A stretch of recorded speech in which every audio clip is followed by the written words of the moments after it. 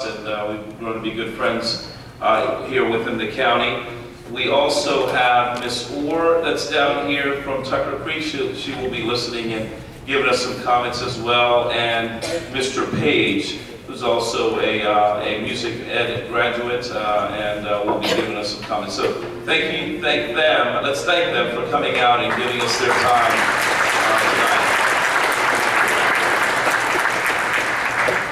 It's a pretty uh, scary time for a lot of the students, especially the ones that have never done this. Um, everyone's eyes is, uh, will be and ears will be on what we're playing out on stage, and it could be a uh, it could be a scary uh, situation for some of us. And all we're going to do up here is just relax and play, and we'll talk a little bit more about that later on. Um, without further ado, I think the symphonic band is done. We had some students get here after 6.30, so they uh, might have been tuning all the way up till, till 7 o'clock here. But without further ado, as soon as the curtain opens up, uh, the first piece will be conducted by Miss Lindsay Eskins, and that is Big Four March.